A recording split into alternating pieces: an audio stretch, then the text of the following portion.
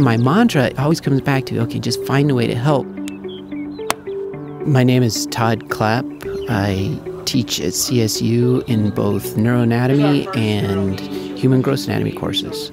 What I try to do in all the coursework is give students the skills to solve a problem that they've never seen before. One of the things we work with students on is can they back up and ask themselves a series of questions that they can answer. For example, almost all classes we start off with, and I say, well, where do you put a windmill? And it's interesting to watch students struggle come up with, coming up with the idea, you put a windmill where it's windy.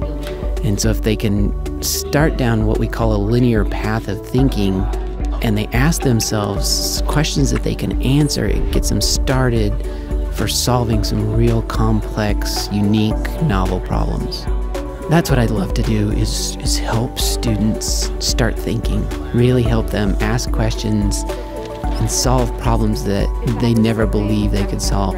Some of the, the medical school deans, they've come helped with class. They love our students. They say that I can put this case in front of a fourth year medical student, and I can put it in front of a fourth year biomedical science student, and the fourth year biomedical science student can solve it because they have a process and they're amazed with our students. And that's a lot of fun to say that, hey, we're doing something well here.